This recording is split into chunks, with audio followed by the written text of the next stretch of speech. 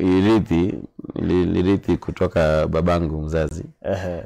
ambaye alikuwa mkereketwa wa seneta wa kwanza wa Baringo, alikuwa anaitwa EU Eu. alikuwa na yes. Na toka ukula Ravine kwa Baringo not lakini aliishi ravin Ravine. Na, na babangu alikuwa agent eh, mkubwa. Alikuwa chief agent.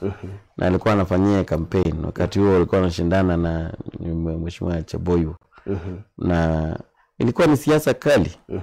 Na slogan ya EU ilikuwa penge. Penge, juu. Uh -huh. mm.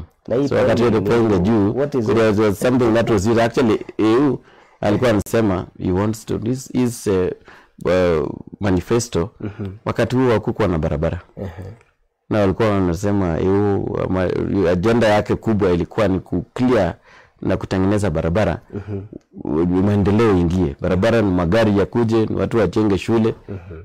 Na hiyo imelingana hata na wakati huu. Unajua kufungulia sasa penge barabara ingie bunge mambo mazuri maendeleo itaingia. So and, and, and I'm asking mm. that because I'm seeing quite a number of people mm. are saying penge juu, penge juu, and uh, I think uh, it was of interest of yeah. anybody who has not met you. Yes, yeah, yes. so so so. Penge is, is is a nickname and it's also it, it has become a, like a, like a, it's a name that's the name I'm using mm -hmm. right now Yeah. and uh, and uh, road is uh, my my official name is Sami Chelimo Chelanga Penge